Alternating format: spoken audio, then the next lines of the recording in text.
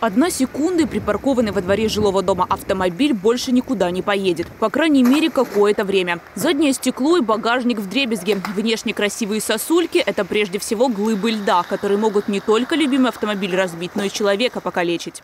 Конечно, опасны. Просто у нас таких служб нету, не предусмотренные. У нас такие погодные условия бывают очень редко. Ну, управляющая компания молодцы. Э, Приехали, быстро убрали, огородили, не давали никому пройти. Нависшие над севастопольцами угрозы заставляют нервничать горожан. Ходить под домами опасно. Ненароком может что-то упасть на головы. Работаем мы практически в круглосуточном режиме, работают 4 бригады.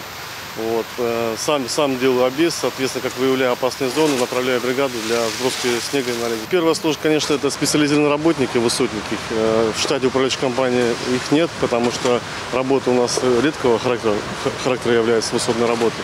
Поэтому мы оперативно нашли специалистов, Оперативность в данном случае может кому-то и жизни спасти. Для нашего города это явление, конечно, больше редкость, а в других регионах, особенно сибирских, каждую зиму именно упавшие сосульки травмируют тысячи человек. Управляющие компании уже порядка 120 домов от- обработали и э, ну, сбросили уже э, покров э, сосулек, значит.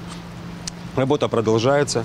Э, Она идет у нас, э, управляющие компании делают ее в рамках тарифа, который они используют для содержания многоквартирных жилых домов. То есть э, собственники должны обратиться с заявлением в управляющую компанию, чтобы те составили соответствующий график.